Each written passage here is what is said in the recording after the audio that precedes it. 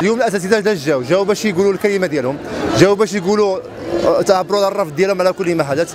على داك الشيء اللي جا في النظام الأساسي على هذه الزيادات الفتات اللي سموا الاساتذه 750 درهم كل سنة لمدة سنتين على عدم حل الملفات المطلبية صراحة مجموعة من الملفات كل شيء كيروج ان الملفات المطلبيه تحلات لكن كثير من الملفات المطلبية لم تحل ومن بينها ملف الزنزانة خريج السلم التاسع الذي لم يحل بتاتا بالعكس بل جاءت فيه بعض الأشياء اللي هي أقل مما جاء في النظام الأساسي الجديد.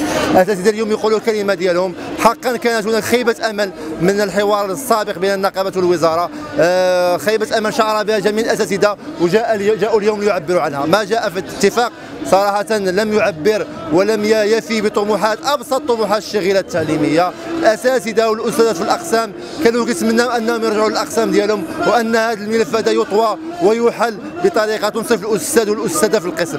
إلا أننا تفاجأنا لما جاء في الحوار صراحة. نقول للوزارة اليوم كاين اجتماع ما بين التنسيقيات والتنسيق الوطني والنقابة ديال اللي فينو وبعض النقابات الأخرى.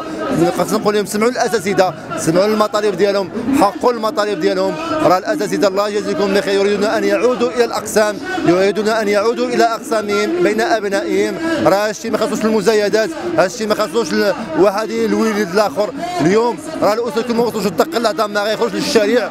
ومادام انه خرج للشارع راه تيقول لكم كفى كفى. جيبوا شي حلول. جيبوا شي نظام أساسي محفز ومنصف للجميع. 1500 درهم. حنا ما طلبناش. علاش زادونا؟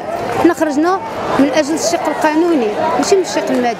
الوزارة ناقشت الشق المادي وخلات الشق القانوني اللي حنا خرجنا على حسابه.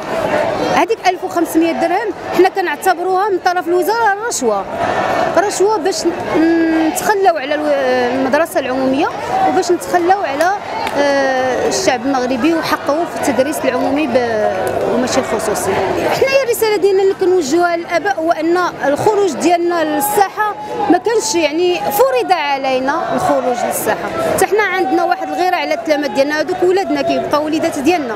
عندنا غيرة عليهم وما بغيناش هذا الوضع هذا ما بغيناش هذا الاحتدام اللي واقع مع الوزارة ولكن الله غالب. جئنا اليوم لنؤكد تشبثنا بمطلب سحب أو الغاء أو لنقل على الأقل تعديل هذا النظام الأساسي الذي يعني صار الآن وصمة عار في جبين الوزارة الوصية.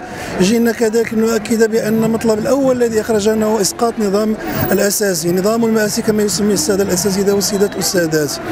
جئنا كذلك نقول بأن خروجنا ليس بالأساس ولم يكن بالأساس من أجل فتات تقدمت به الوزاره الوصية من أجل إسكات صوت الشغيله التعليمية وإن من أجل استعادة كرامة رجال ونساء التعليم.